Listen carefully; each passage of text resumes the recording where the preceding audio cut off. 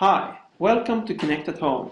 Kinect at Home is a place where you can create 3D models directly from your browser just by recording videos with the Kinect camera.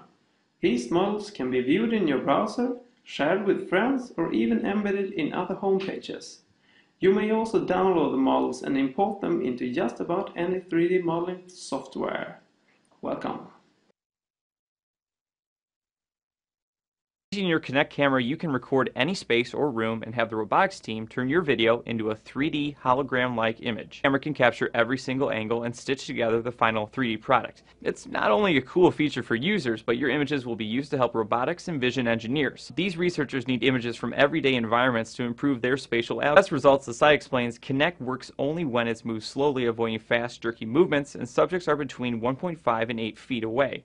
Avoid moving things while recording, instead move the camera. After, you can save your 3D images for further editing in just about any 3D imaging software.